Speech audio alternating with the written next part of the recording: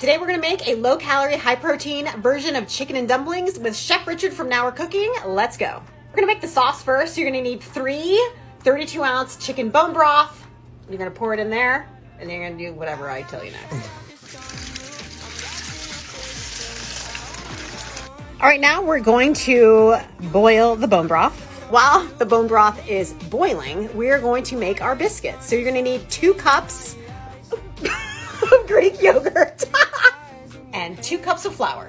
And then we're gonna mixy mix. We're going to flour a flat surface, clean flat surface. Make sure it's washed. Just gonna dump our dough out onto the surface and clean our spoon off really well with my washed hands.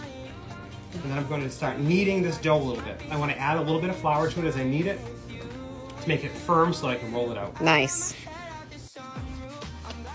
All right, now we're gonna roll out the dough. As thin as we can. As thin as you can. We want to make this into uh, like a standard dumpling, so it's going to be very thin, almost like thick pasta.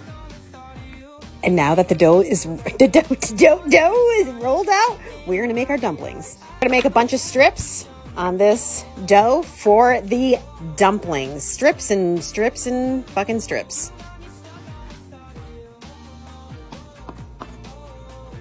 We're gonna literally take all of these and we're gonna put them in the boiling, when this boils, bone broth. Here we go, we're throwing them in.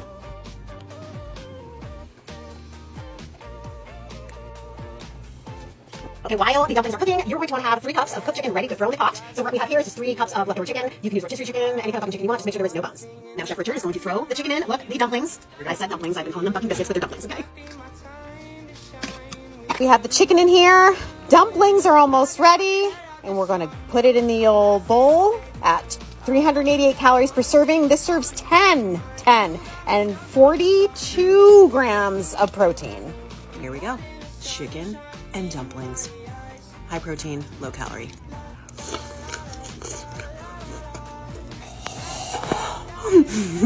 I probably should have waited for it to cool down, but I couldn't because it's so fucking good.